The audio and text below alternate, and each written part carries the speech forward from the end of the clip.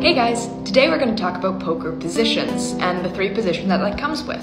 The early position, the middle position, and the late position. Now, to make this a little bit easier to understand, I'll be basing this off of a game that has six players at a table. So first off, these positions are based on the location of the dealer button. I've currently lost mine, uh, but it is a pretty big button. They are usually white and they say dealer in the middle or just button, um, and that will be what is moving slowly around the table with each hand that is being played. The player to the left of the button is the small blind or the little blind. They also have a button in front of them. And to the left of the little blind is the big blind, who also usually have a button in front of them.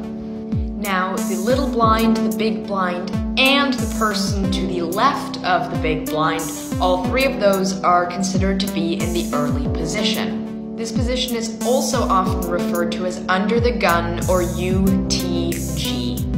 Although these players are last to act on the pre-flop, they are always the first to act once the flop is revealed, and that is why they are called the early position players. The next two players after the early position players are the middle position players. They're kind of in midfield between what is considered a better place to be and the worst place to be, so they're just happily relaxing in the middle. The late position is then on the button, um, and they are called this because they are last to act. They get to see how the game is evolving. They get to watch if people are checking, folding, raising, just calling, and they have a lot more control over the game. They get to control a little bit more of the size of the pot, forcing people into betting more, or checking just to get a free card if it gets all the way to them. Because of this, being in an early position is often regarded as the lowest position that you could be in, and being in the late position as the best one.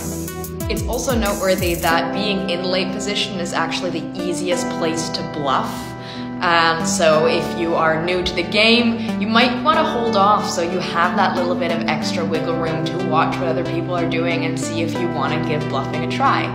Lastly, being in late position is often just called being in position. Um, so that's the exact same thing. Thankfully the button moves each round so everybody gets a chance at playing